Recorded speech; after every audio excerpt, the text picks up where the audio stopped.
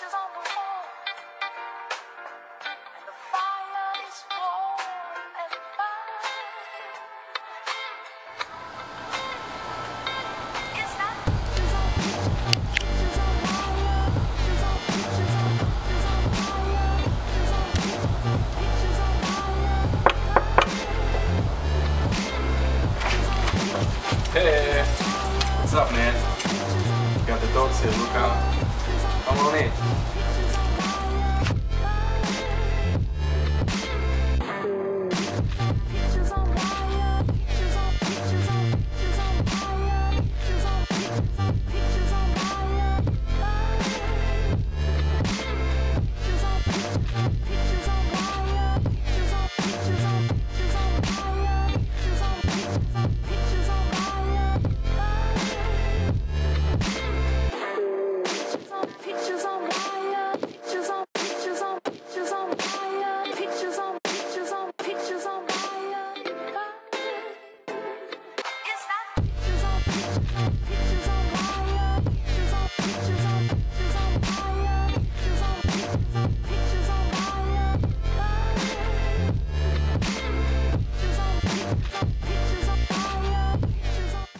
My name is Yuda Benatar.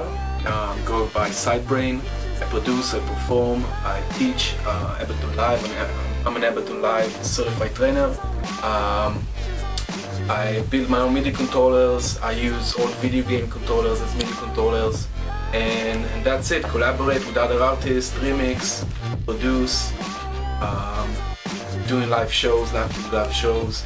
Uh, and that's it.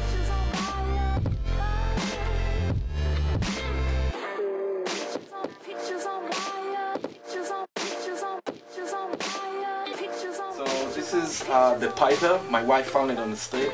It's semi-working, only the white keys, but it's really cool because it has uh, a built-in arpeggiator with variable speed. So, so you can do some really cool stuff with it. Um, my wife got me this. This is a light theremin, which is really cool. She got me this in New York from a, from a DIY artist in New York, which is pretty cool. It built into a cassette tape uh, box. Um, just a MIDI keyboard, just uh, doing all my stuff. Um, I wish I had more synthesizers, but I don't. I don't have any noisemakers. Everything's inside a computer, uh, using software synthesizers and such, and sampling. So just everything's MIDI. So this is a MIDI keyboard. This guy I just built. Uh, it's called the Mediator. It's a DIY MIDI controller. Uh, this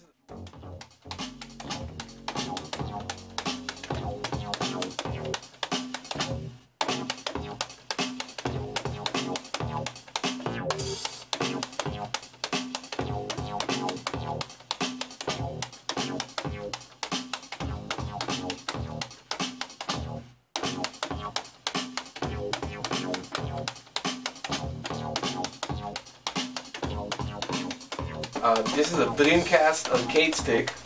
I just uh, turned it into a MIDI controller, the joystick and everything. It's a Novation SL uh, Mark II, 25 keys. It's a great keyboard, especially for live performance and to control Ableton Live.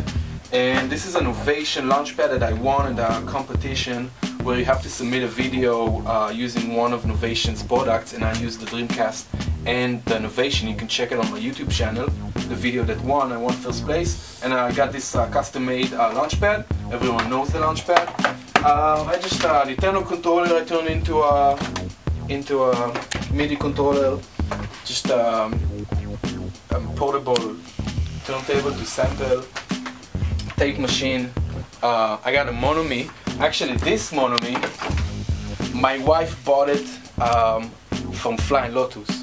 And he sang it. It's when, when I was in Israel and I was like, oh my god, I want a Monome. You couldn't get those at the time because they were releasing every couple of months, just 300 of them. And they were like off the shelf like that. And Lotus sold his on eBay, and my wife like knew I wanted it from because I liked an artist, still like an artist named Daedalus. I know the Monome from him, and she said, uh, and she got it from me from Flying Lotus to my birthday.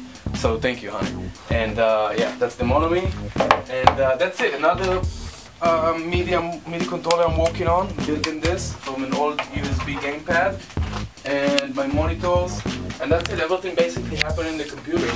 Uh, all the music, everything, everything that you see here doesn't make any sound, just sends uh, the computer uh, messages what to do. MP, MPC 2000 XL, which is absolutely amazing, but um, it's um, you know it's obsolete because everything we can do everything. Even even the groove the famous groove of the MPC is emulated in the Akai keyboards in the MPDs even in Ableton Live you have an MPC groove. So if, if anyone tells me oh I use it for a groove there's no reason to use it for groove you can find it somewhere else. The sequencing uh, don't even talk to me about sequencing. Every every software today in the in the computer is much more faster and efficient than this. I love this, it's amazing, it has great sounds, it's fun sampling, it's fun playing live. I used to play, uh, I used to play in a band uh, with this live and it's really fun, but you know, just gaining dust, that's all right now. And that's it, couple of mics. This is a didgeridoo, if you know, it's an Australian uh, instrument. It does like woo, uh, a couple of guitars, a mandolin, and